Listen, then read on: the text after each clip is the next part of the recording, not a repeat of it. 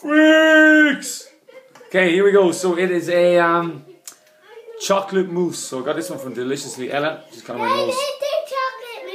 She's my kind of uh, nose strings. Some really good stuff she does. Um, so here we go. Simple. Everything goes into a blender or your NutriBullets. Bish bosh. Bang. Job done. Here are the ingredients.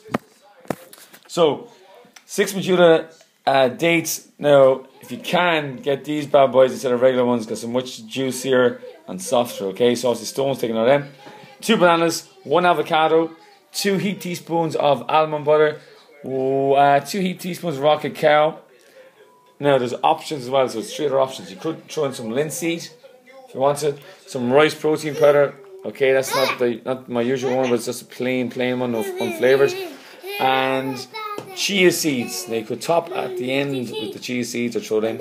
So basically, all that goes into your NutriBullets or your blender, blitz it up. Daddy, They're called bananas. Banana. And then it ends up like this. Okay, now it's, it's much larger quantity than that. That's that's even less than uh, the full amount of ingredients that you I just showed you. Okay, so blitz it up. Lovely, smooth texture, creamy, chocolatey. Had a few strawberries on the side. You know my strawberries. Rawr.